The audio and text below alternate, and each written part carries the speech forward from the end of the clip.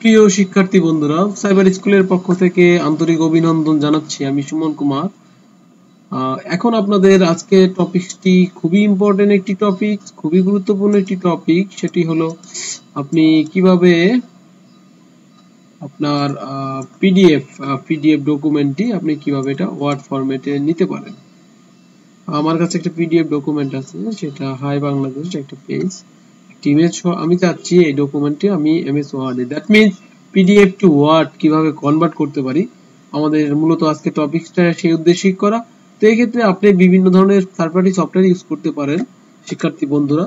অথবা আপনি অনলাইনে বিভিন্ন ফ্রি সার্ভিস আপনি পাবেন, বিভিন্ন অনলাইন সার্ভিস পাবেন, বিভিন্ন অ্যাপ্লিকেশনে বিভিন্ন ওয়েবসাইট থেকে। সো এখান থেকে আপনি নিতে পারেন। তো এই ক্ষেত্রে আপনি আর যে কাজটি করতে হবে, আপনার ব্রাউজারে যেতে হবে, আপনার ব্রাউজারে যে আপনার pdfonline.com এই ওয়েবসাইট থেকে আপনার সিলেক্ট করতে হবে পিডিএফ টু ওয়ার্ড কনভার্ট যেহেতু আপনি পিডিএফ ফাইল তো এখানে upload a file to convert আপনার এখানে ক্লিক করে আপনার ফাইলের লোকেশনটি দেখিয়ে দিতে হবে, যে ফাইলটি আমি হাই বাংলাদেশ সেটা চাচ্ছি, এটা ক্লিক করতে হবে আপলোড এটা কিছু সময় সময় নেবে, হতে পারে এক মিনিট, তিরিশ সেকেন্ড বা এটা ডিপেন্ড করে আপনার ফাইলের সাইজের উপরে।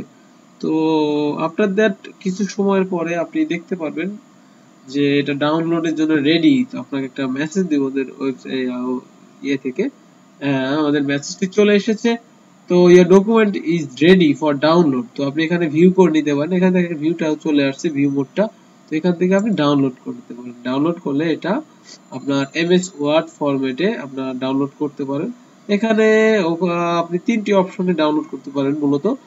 ওয়ার্ড ফরম্যাট পিডিএফ ফরম্যাট অথবা আপনার এইচটিএমএল ফরম্যাটে যদি চান করতে পারেন।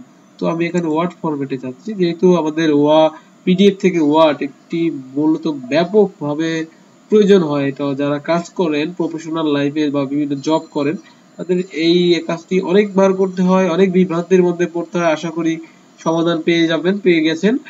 তো এভাবে আপনি করতে পারেন। তো আরেকটি কথা খুবই ইম্পর্টেন্ট আপনাদের জানিয়ে রাখা ভালো, সেটা হলো যে আপনার ডকুমেন্টটা যদি পাসওয়ার্ড প্রোটেক্টেড থাকে, তো এই ক্ষেত্রে আপনার এটা আনলক করে নিতে হবে। বিভিন্ন থার্ড পার্টি সফটওয়্যার দিয়ে হোক বা ওয়েবসাইট থেকে হোক, আপনাকে পিডিএফ ফাইল আনলক করা শিখতে হবে এবং পিডিএফ ফাইলটা ফাইলটা যদি নন স্ট্যান্ডার্ড ফরম্যাটে থাকে দ্যাট মিনস আপনি এই ওয়েবসাইট ব্যবহার করে তখন নাও হতে পারে। তো মূলত কমন যে ফাইলগুলো আছে, আমি ওই ফাইলগুলো আপনি নর্মালি এভাবে আপনার ওয়ার্ডে কারেকশন করতে পারবেন।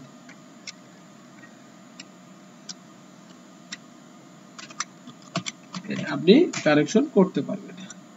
তো ধন্যবাদ শিক্ষার্থী বন্ধুদের সাইবার স্কুলের পক্ষ থেকে আপনাদের বিদায় জানাচ্ছি আজকের মতো। ভালো থাকবেন।